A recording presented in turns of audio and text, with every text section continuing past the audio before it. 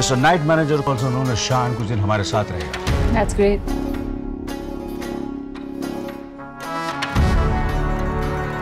ऐसी क्या बात है तुम्हें शाम जो मुझे खींच रही है तुम्हारी तरफ़।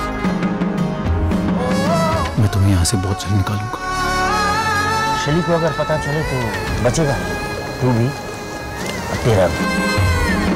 The Night Manager, now streaming सिर्फ़ Disney Plus Hotstar पर।